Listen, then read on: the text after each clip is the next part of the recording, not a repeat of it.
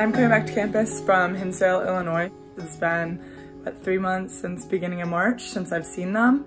So I'm excited. We can get to see each other in small groups, obviously social distancing. Um, we have little pods that we get to work out in.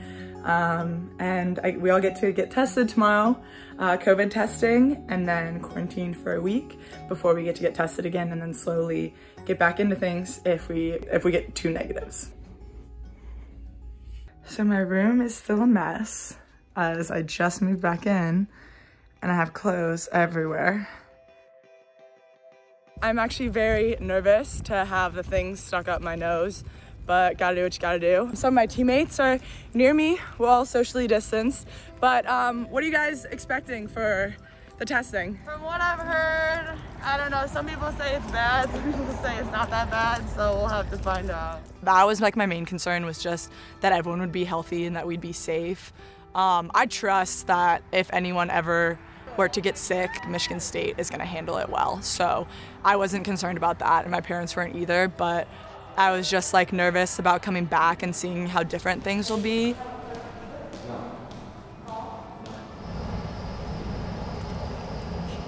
We just got done testing. It was pretty bad for me, I don't know, but I, I, I got through it and my eyes were a little watery. The people were super cool though, and it was really fast, three seconds, but it was pretty bad. you wanna say anything? Yeah. Oh my god, I have to sneeze, I'm sorry. It wasn't bad. um, it was quick in and out. It was very efficient. We were only in the building for 10 minutes and now we have the rest of our day. Yeah. Yep, we just exited here. It's a one-way flow of people. Super easy. I see some of my teammates still going. Here comes another one. How'd it go? So far, so good. So far, so good. Let's stay distanced, Liz. Oh, yeah. and here's another one. How'd it go, Bex? Um, yeah, you're crying. I think they definitely have had our best interests. I mean, some of the things like that we have to do, like I, I don't know, we all joke about like, oh, this is kind of silly. Like I have to be six feet apart from this girl, even though I live with her. But in, in the end, like our trainer Kelly keeps saying, like this is just so that we can have a season. Like this is so we have a season, we all stay healthy, and I think like they're doing a really great job with everything, giving us like snack bags and just making sure we have everything we need. You just got a water bottle with names on it uh, that we get to bring to and from once we're allowed to um, start practicing again.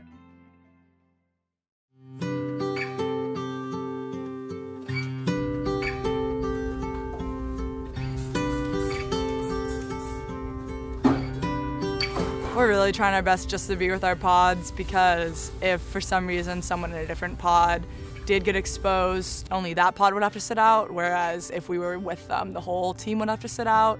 So we're doing our best to just be with our pods, and it's usually like who we're living with. So in my case, I'm actually living alone, but the girls that I'm with are all living together, so I can go be with them. The birthday girl! My friends are amazing! so it was Naya's birthday, her 20th birthday.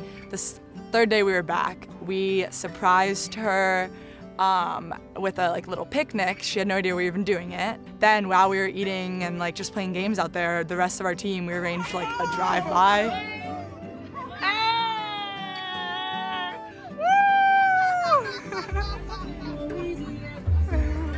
it was so cute. She was so happy. It was the first time we all got to see each other being back even though like everyone else in the team was just in their car and I could only see them from a distance, like it was so nice being able to see everyone and it's hard not to run up and hug everyone, but I know like that was really special for Naya and our whole team. So it was a really good day. Workout pause. No! What happened? Workout pause.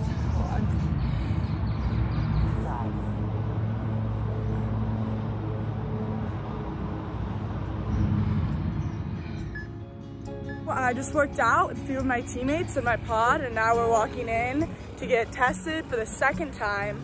Uh, luckily our entire team was negative last time we got tested.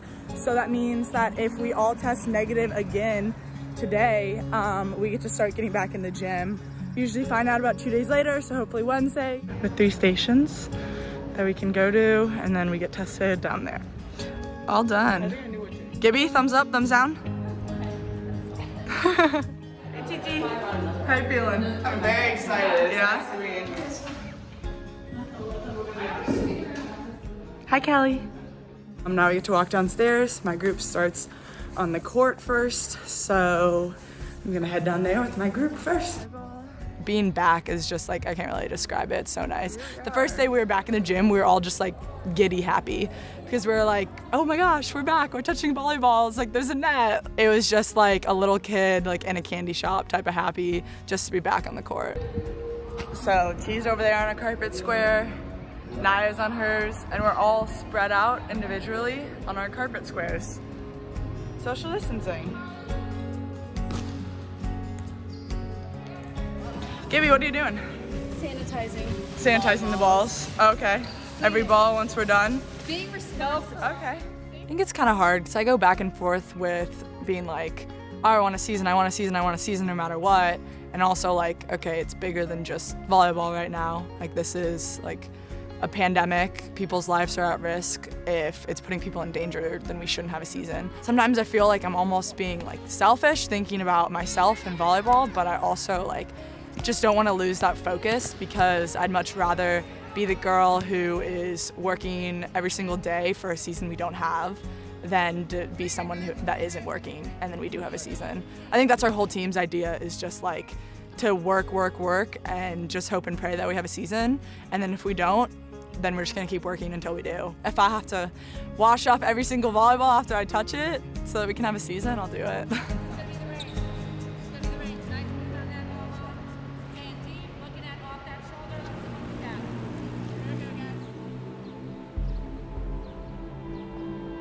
Yesterday, we got the news that the Big Ten is postponing all fall sports, our seasons, until hopefully the spring. Um, so for us, this means that we will not be playing volleyball, football, field hockey, soccer, and any other fall sport in the fall, um, which was pretty devastating to hear. Um, but when it comes down to it, um, there are bigger things going on right now. If it's gonna be risking anyone's safety and health and anyone's life, God forbid, um, we don't wanna be playing to put anyone at risk. But we have really gotten a mindset of just, our goals don't change. Whether it happens in December in a national championship or in April in a national championship, our goals don't change. Yes, it's disappointing that we have to wait to play. And of course, everyone wanted to get in the gym and play in Jenison as quickly as we could.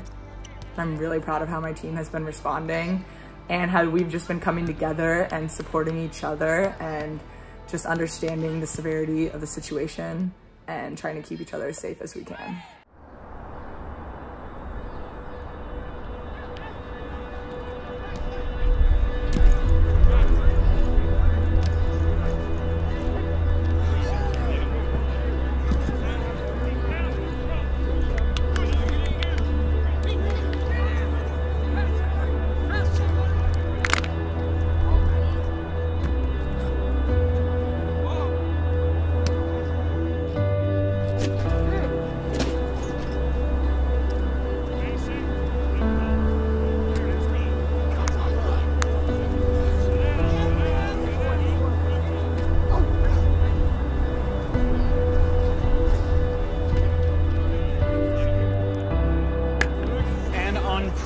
Unprecedented moment in the modern history of college football. The Big Ten will not play this fall.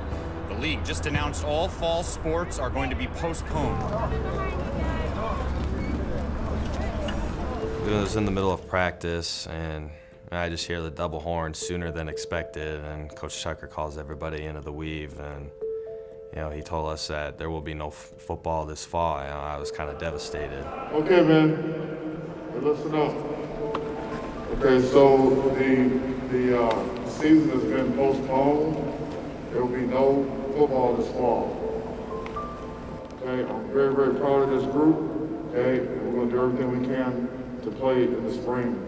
Okay. You know, a lot of guys were in shock. You, you don't really know what to say. You know, football hasn't been canceled in 150 years, so it's uh, it was different. But I think overall, guys are seeing the positives of this and seeing that we get more time to prepare, um, more time to, you know, master our offense, new new offense and defenses. So it, it was weird, but I think overall it's going to be a positive impact on our team. it was for me. It was a toss-up, and I was 50-50 on the decision because like part of me wanted to be out there playing, but then also another part of me wanted to make sure I was safe because I want to be able to go home and see my family whenever I have the opportunity. I feel like the positivity that we have in our team, a lot of it comes from Coach Tucker because, you know, he's always saying, keep pushing, stay hungry. Don't lose hope because we will play football at some point. We just don't know when. It's been a year of change and a year of possible growth. Like I said, um, you have a choice in life. I kind of feel like you could either choose to view all the negativities in life or you could view everything in a positive manner. If I could sum this year up in one word, I think it would be growth. Um, you know, on the field and then also off the field. You know, being at home and being with my two older brothers and learning from them and learning from uh, the people around me it really has helped me grow and has helped me become a better person. It brought a big deal of, I don't want to say relief because it makes it sound like we didn't want to have a season, but it's a relief that we finally got an answer. From this point, I'm hopeful for, you know, a season for me to show the world what I got and what our team can do and how good our team can be. I'm hopeful for uh, things to get back to normal. Just, uh, just, I'm just hopeful for this team to come together and, and have some fun. Moving forward, I'm just hopeful that that everyone for everyone's safety. Hopeful for a lot of things right now. I'm hopeful that people just become, you know, more open-minded. Hope everybody, this gives everybody a chance to slow down, work on their mental health. Hope everybody just kind of can approach everything from a positive standpoint. Like if they could get through a pandemic and be fine, then they could tackle any other issue in their life later on.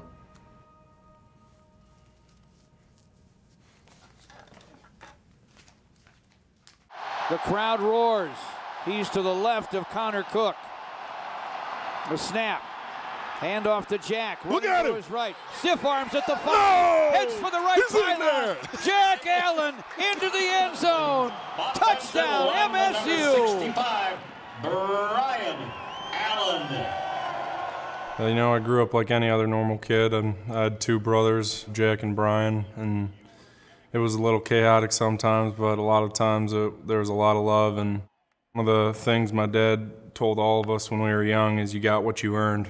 And I've carried that with me through most of my life, and I know that my brothers have done the same. And all we've really tried to do is just find the inches each and every day and earn what we can, and luckily that's what got us here. It was definitely competitive. I remember there's a ton of stories where it's just like me, Jack, and Brian, like all in the wrestling room, and I'd be watching them wrestle, and it was just something I always wanted to do. So being able to actually end up doing it was really nice. And then obviously, like with all the things they accomplished, I was always like goal chasing and trying to accomplish the same things that they did. So there was definitely a lot of competition. And then we were always outside just climbing trees, being stupid kids, and seeing who could throw a rock the farthest, seeing who could run faster, just always being outside.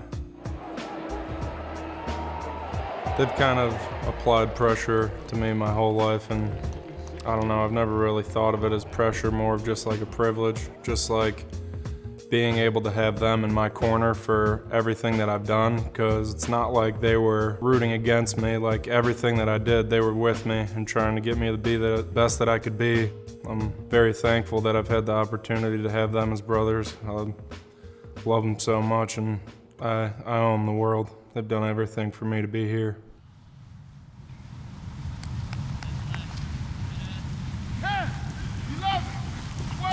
the first two weeks of camp, I don't think I won a single rep, and it was just so frustrating. And I remember I'd just like go back to my dorm room and just feel like I was just disappointing my family just by being here, and I wasn't living up to what Jack and Brian have done. And I mean, I never really expect to like live up to what they do. I just always want to do the best that I could do. It just felt like my best wasn't even good enough to be here. So that was a little bit hard to accept at first, but kind of like I said, my my dad, when we were young, he always hammered into our heads, you got what you earned.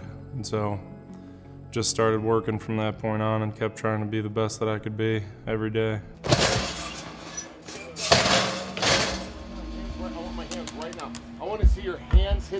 And your feet follow. Last one, last one. Let's go, let's go. It was definitely a little tough love, just because like when you're out on the field, it's a lot different. He doesn't like feel like he's your brother. He's more just like your teammate. He said a couple things to me about it, but nothing too hurtful. He definitely helped me a ton though outside of practice. Like when we'd be doing extra stuff, we'd always be snapping after practice or just like going through steps after practice. And most of the things I know now are because of him and very thankful he was here for me. I was lucky enough to be on the travel squad, so like every away game and home game, we would be staying at the Kellogg or a different hotel, and the captains would come up and, on Friday nights and just give us like a little pregame speech. And whenever he would give pregame speeches, I'd always just like start sitting up in my chair, and I'd be ready to play on Friday nights just by the things he would say. And I don't know if the other guys around the room felt the same way, but I know that for me personally, was very motivating and just being able to see him accomplish his goals and do the things that he wanted to do just made me very proud of him and very happy for him.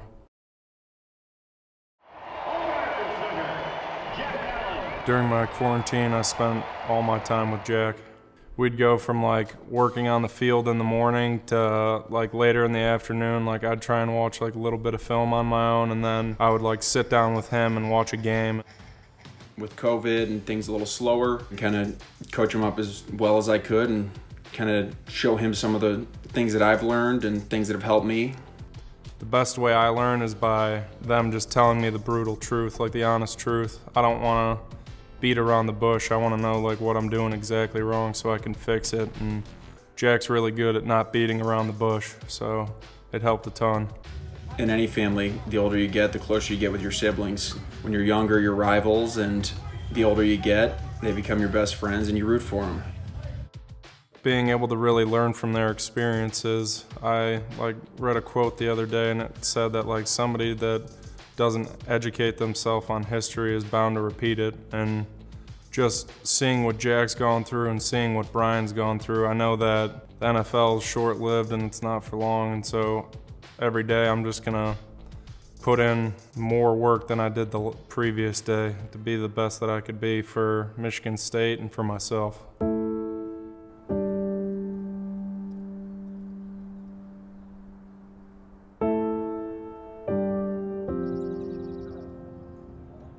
When a pandemic and things like this hit, I think people really start to freak out. And when people freak out, they usually like need somebody to look to. It's difficult, but life's full of valleys and mountaintops, and you can't let the valleys get too low and the mountaintops get too high. Things like this are gonna happen. You make plans and God laughs at you. When that happens, you just gotta put one foot in front of the other and keep moving forward. I know that my freshman year, I thought I was the worst kid on the team. I was really freaking out. The person I had to look to was Brian. Just being able to have him here and see what he's done for me, that helped me become a little bit more of a leader myself and just knowing that when this situation hit, guys can turn to me whenever they want and I'll be ready and I'll be there for them. Doesn't matter who it is, I'll be there for them. Allen is a very great leader. You know that he's going to do what he needs to do, and then he's going to be vocal and he's going to tell you like you need to step it up. I feel like he wasn't as vocal his younger years, but he's definitely grown into the leader that he is now. Just being able to like talk to people and also show it through his work and through his action. He's also helped me like spiritually grow. He's a really great guy. I'm really just looking at it as an opportunity to grow more, grow more as a person, grow more as a football player, strengthen myself in the weight room, continue to build off the things that the coaching staff has already taught us. Biggest part about it is you just got to look at the positives because if you're focusing on the negatives, then your whole life's going to be negative. I think he works harder than me and Brian ever did. With how committed he is to everything, every night he's stretching. He's like, hey, you want to stretch? I'm like, no, I've been there, I've done that. I'm, I'm good sitting here watching. Even mentally, he's matured and he's just growing as a person too, which is cool to see. All in all, he, he's turning into a pretty good guy. They show him how to do it. So Michigan State does. And the kicks in the butt from the brothers and the other teammates doesn't hurt either. When football's over, I mean, I'm very comfortable with them getting out into the world and figuring out what they want to do and who they are. It's honestly been a dream come true. Sophomore year of high school, I literally used to pray for two things, and it was a scholarship to Michigan State and a state championship in wrestling. And luckily, the Lord blessed me with those two things, and being able to represent my family as well, that's just a blessing. And I hope that I just put in enough work that one day they could be proud of me. I'm very proud of him. I think everything he's done, I think, has been harder because his brothers have set such a high bar. Pressure makes diamonds. Every day hasn't been easy, but it's definitely been a journey, and I've definitely grown from it, and very blessed that I picked this place, and just very honored to have the opportunity to be here and compete for the Spartans.